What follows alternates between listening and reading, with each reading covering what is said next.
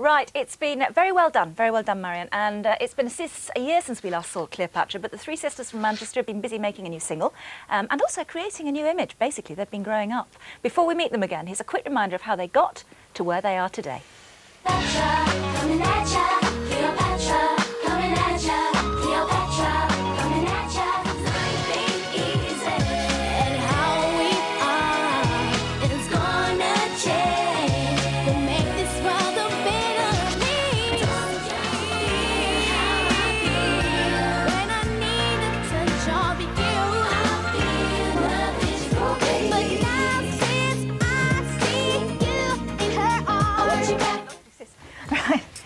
Here now. Cleo. It's, uh, now, you're Cleo. Yeah. Yeah. No, Yeah, we must get this right because you've grown and that means you've changed. Very confusing. You've certainly grown in one department, I can see. very much so.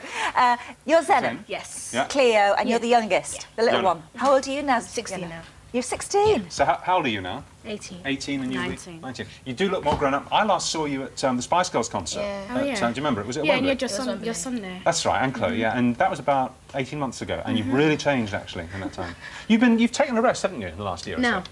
No, I Come on, been stuck stars in the rest. Hey. Not at all. We've been stuck in the studio recording the second album, Stepping Out, which is out in October. Mm-hmm. And um, one of the singles off it is actually Come and Get Me, which we're going to perform for you today. Right. Um, what else have we done? We've done a couple of charity shows and also we've uh, done a second TV series, which was released at the beginning of this year. Right. Everyone's been going, where's the new TV series? Are you going to do another one? We're like, oh, well, we wish we could, but, you know, right now we're really, really focused and really indulged in the album at the moment. Where are you living now? Still Manchester. Still living in Manchester. Good. Keeping the faith. True to Manchester. Is it true you're the bossiest, even though you're the youngest? Definitely. Well, Yeah. Is it? You are. I am. I mean, these two always gang up on me, but you know, I always win anyway. Besides, she's the tallest one. Look at her. Yeah. That's true. Yeah. Yeah, young ladies now, you really are, young women. Yeah, okay. changed. Well, you're going to sing for us, as you say. Uh, It's due out on Monday, isn't it? Next Monday, I think. 17. Oh, 17. 17. 17. Okay, That's then. another one ahead. Okay. Right. Well, listen, before uh, they sing us out, a look at tomorrow. Denise Welch's other half, actor Tim Healy's in, and it's Wednesday, of course, so it's going to be soap day. Sonia turns agony aunt in EastEnders, and Lindsay gets an unwelcome proposal in Brookie.